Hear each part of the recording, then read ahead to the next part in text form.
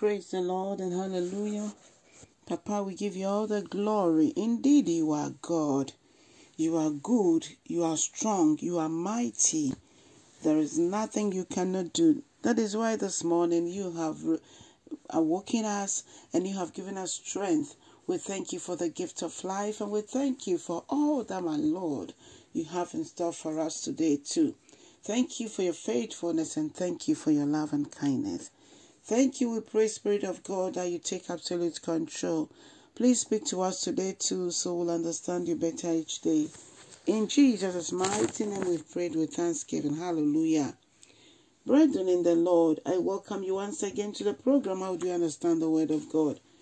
We'll take our devotional reading from 1 Samuel chapter 2, the verses 6 to 8. 1 Samuel 2, 6 to 8. Let's hear the Word of God. The Lord gives both death and life. He brings some down to the grave, but raises others up. The Lord makes some poor and others rich. He brings some down and lifts others.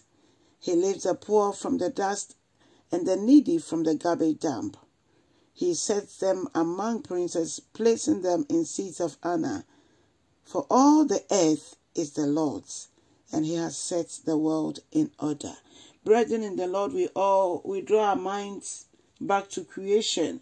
We see that the, the earth was null and void, but the Lord God called everything into being.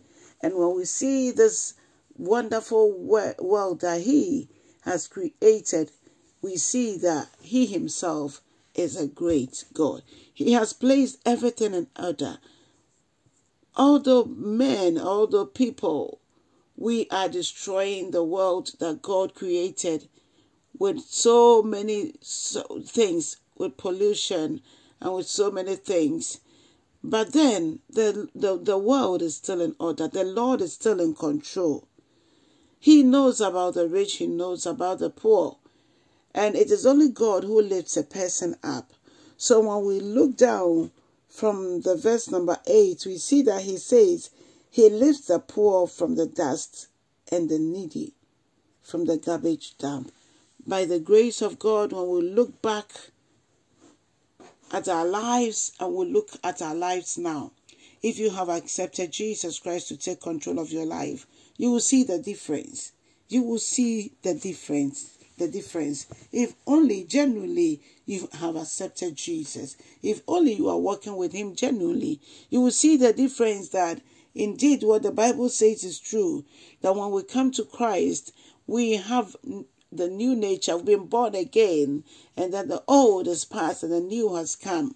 Brethren in the Lord, it is only the Lord who breaks protocols. And where people think that there is no hope, where people think that there will, there will be no one to lift us up, the Lord Himself lifts us up. Where we have not even thought of to be, the Lord lifts us up and places us in those places. Hallelujah.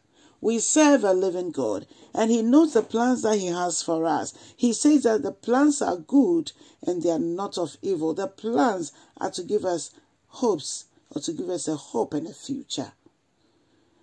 So, brethren in the Lord, walking with Jesus hand in hand, aligning, making sure that we are walking according to His word is what will make us prosperous when we talk about prosperity, this is prosperity, knowing Him and being rich in Him, being rich in His Word, being rich in whatever step He wants us to take.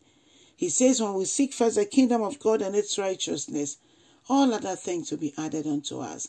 So our richness and our prosperity comes from knowing the Lord and making Him known and then allowing Him to direct us. Where people will take so many years to get, when the Spirit of God leads us, He takes us in a split of a second. So, what are we waiting for? All that we need is to accept Jesus Christ as our Lord and personal Savior for Him to direct our path. Because we do not know even our future and why we are here on this earth. All we know is that God has given us opportunity to know Him and then to serve Him and then to understand Him so that we'll be with Him in glory. By the work we have to do here on this earth, He will take us through And if we do not have Him, how would we do the work? And how would we know even the plans that He has for us? So let's allow the Lord to direct our path and allow Him to teach us His ways so that we will not be led astray by the enemy, but will walk according to the will of God. God richly bless you as you hearken unto the word of the Lord, as you cling unto it, because in the word of God there is hope, there is life eternal for everyone who comes to Jesus. God richly bless you. Please share the word, even as we all want to stand, we want to be aware of the coming of Christ. Do not be left out. In Jesus' mighty name I pray. Amen.